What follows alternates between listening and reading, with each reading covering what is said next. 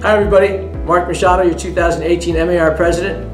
MAR will have a speaker you don't want to miss for the next general membership meeting and annual election on Tuesday, September 11th. We're welcoming Kathleen Baty, the safety chick. Kathleen, herself a victim of a kidnapping attempt at gunpoint by an obsessive stalker, teamed up with then California State Senator Ed Royce to pass the nation's first anti-stalking law. She believes that people do not respond to fear, but rather by being empowered to make smart safety choices. Please visit the MAR calendar to register for this very special event.